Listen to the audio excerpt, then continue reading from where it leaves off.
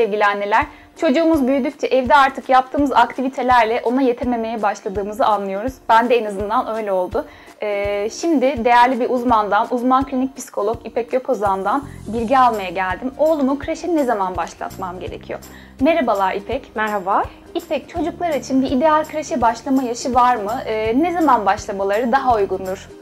Şimdi aslında burada ideal yaştan bahsetmektense ideal bir gelişim e, akışına öncelikle bakmanın daha doğru olduğu kanısındayız. Çünkü her 3 yaş ya da her 4 yaş çocuğu birbiriyle aynı tempoda, aynı hızla gelişmiyor biliyoruz ki. Bazı çocukların bazı becerileri daha geride oluyor, bazılarınınki daha ileride oluyor. Ama kabaca 3 yaş kreşe başlamak için doğru ve ideal bir yaştır.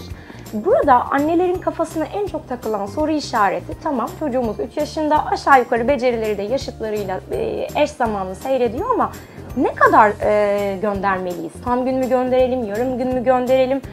İlk etapta başlarken tam günden ziyade daha kısa süreli yarım günleri, 3 saatleri tercih edebiliriz. Bazen de bazı annelerimiz e, benim için tam gün yalnızca uygun olabiliyor çünkü ben çalışıyorum diyor. Bu tip dönemlerde de önerilerimiz şu oluyor. Çocukla birlikte ilk etapta muhakkak e, kreşe birlikte gitsinler. Çocuğun anneyle birlikte orada alışmasını, kendini daha iyi hissetmesini önce bir emin olup sağlasınlar. Ardından baktı ki çocuk gayet rahatlıkla oraya alıştı, öğretmeniyle, arkadaşlarıyla iyi iletişime geçti. Tam gün göndermesinde çok da büyük bir sakınca aslına bakarsanız yok. Ama ilk etapta denemek için her zaman emin ve küçük adımlarla gitmenin daha iyi olduğu kanısındayız. Kısa dönemli, kısa süreli başlatıp sonra yaş ilerledikçe, alışma süresi arttıkça süreyi uzatabiliriz. Peki, peki İpek neden e, daha erken ya da daha geç değil? Yani 2 yaşında da şimdi görüyoruz kreşler çocukları kabul ediyorlar. E, veya da 4-5 yaşına kadar bir çocuğu hani evde oyalayıp 4-5 yaşından sonra bir e, kreşe yollamak sence doğru mudur? Yani normal gelişim gösteren bir çocuktan Anlıyorum, anlıyorum. Şimdi burada ilk etapta daha erken yaştan e, biraz bahsetmek istiyorum. 0-3 yaş aralığı bir bebek için çok kritik bir yaş. Beyninin %85'i 0-3 yaş aralığında aslına bakarsanız gelişiyor. Ve 0-3 yaş bağlanma süreci açısından bir çocuğun annesiyle veya anne yoksa bakım veren yetişkin figürüyle birlikte zaman geçirmesi için çok çok önemli.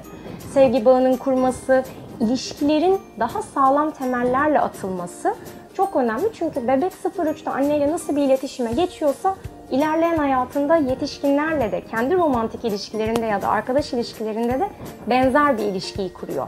Bu nedenle 2 yaşta başlatılırsa anneden kopuyor, çocuğun endişesi artıyor ve daha duygusal sorunlara meyilli ve kökeni bir miktar daha e, aslında duygusal sorunlara hazırlıklı olan çocukları birazcık hayata e, atmış oluyoruz diyorum.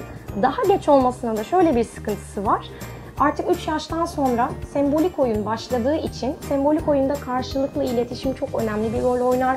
Sosyalleşme becerisi, 4 yaşa 5 yaşa kadar evde bekletilen ve hiç etrafında yaşıtı olmayan çocuk sonrasında okula ayak uydurmakta çok zorlanıyor, kuralları takip etmekte çok zorlanıyor, sosyalleşemiyor ve hatta dil becerisinde ciddi gerilikler oluyor. Bu nedenle de ne çok erken ne çok geç doğru zamanda başlamak önemli. Doğru zaman ne zaman eğer bu konu kafanızı karıştırıyorsa da hem kendi çocuk doktorunuzdan hem de bir uzmandan bu konu için destek alıp genel gelişim ve fiziksel muayenesi yapıldıktan sonra doğru vakti belirlemeniz mümkündür. Teşekkürler İpek. Ben teşekkür ederim. Evet sevgili anneler, çocuğunuzun kreşe başlama yaşı hakkında eğer aklınızda sorular varsa muhakkak bir uzmandan yardım alın derim. Görüşmek üzere, hoşçakalın.